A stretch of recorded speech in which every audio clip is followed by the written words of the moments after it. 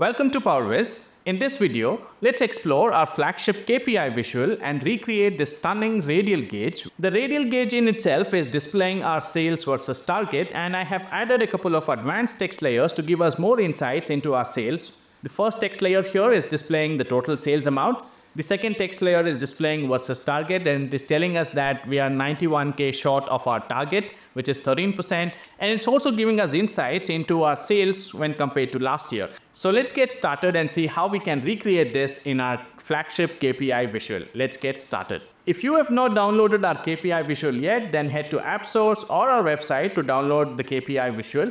I'm going to add the KPI visual here to the new page. I have now added all the required fields into my category and the value section. You need to have a category in here, which is a mandatory field. And then you need to also have all the fields related to your values. For example, I have total sales.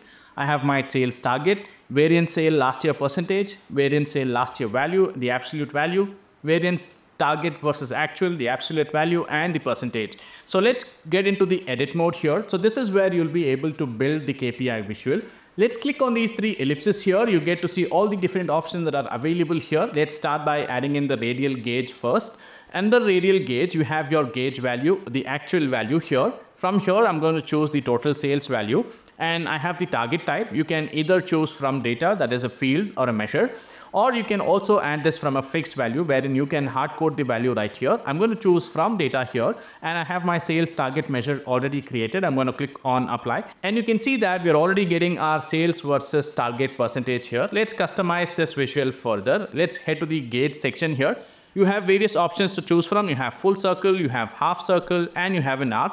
I'm going to choose an arc here, and we can also customize the colors here. So let's choose a different color. I'm going to choose this hex code that I have here.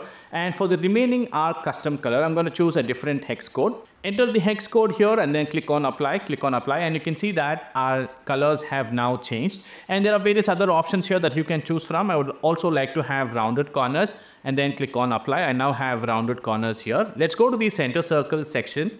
In the center circle section you have an option here where you can add a lot of layers. But for now i'm going to make use of the advanced text layer which is within the kpi visual. So let's add that. I'm going to click on apply now. I don't have any values that are appearing here and let's click on cancel. Let's increase the size of this visual here so that you can see this better. And now let's start by adding in some of the advanced text layers here. I'm going to click on advanced text layer and let's start by adding in our total sales value here from the value button here. You can choose category or value and from the value section, I'm going to choose the total value here. The aggregation is going to be sum actual. I want to prefix this with a dollar sign here and not have any decimal sign and then click on apply. I now have my total sales value being displayed here. I can simply click on apply. And now let's bring in this particular layer into our radial gauge. Let me resize this and bring this here right here in the center. Let's add another layer here and let's call this as total sales and then let's click on apply. I have now repositioned the text layer. Let's add a shape layer here. I'm going to click on shape. There are various shapes that you can choose from. I'm going to choose this horizontal line here. Let me choose a little darker shade of gray here and then click on apply, click on apply.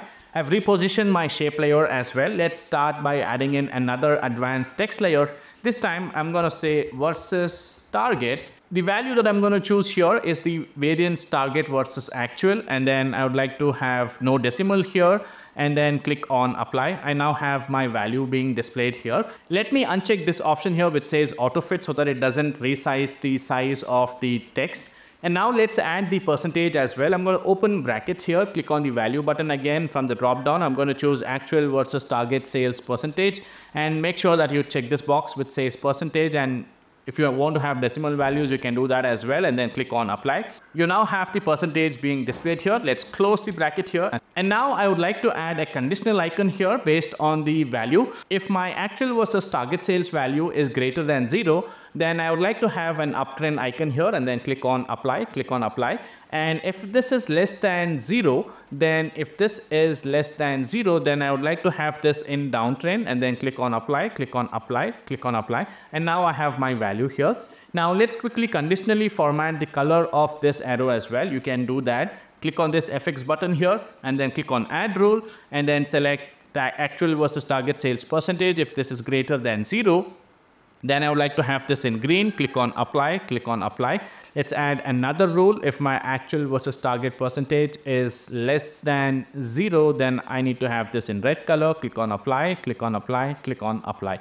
And now you can see that we have an arrow conditionally formatted and then let's click on apply and we have the text created here. And now let's quickly select the entire text here, head to the text section and then select 14, click on apply. And now we have our text created. Let's quickly bring this into our visual as well. I've now resized our versus target text layer. Let's create a copy of this. I can simply click on this duplicate layer option and bring the value right here. And then let's head to the edit section. And this time I'm gonna say versus last year and then I just have to click on this value here and from here you can choose the variance sale last year and then click on apply. I've repositioned our text layers here so that they align together and you can see that we've now created a beautiful radial gauge. You can also add ticks to the radial gauge. If you go back into the edit section under gauge, you have tick options here. You can enable marker labels, for example, you can enable the marker labels here and then you can also enable the axis ticks. Click on apply and now you have the axis ticks enabled. You can see that our sales versus target is at 87% and we have these ticks added to our radial gauge. It's extremely easy and time saving to recreate this visual in Power BI only by using the KPI visual by Powerviz. Do you want to create these stunning visuals in your Power BI report? Then you need to head to the app source or our website to download this visual today.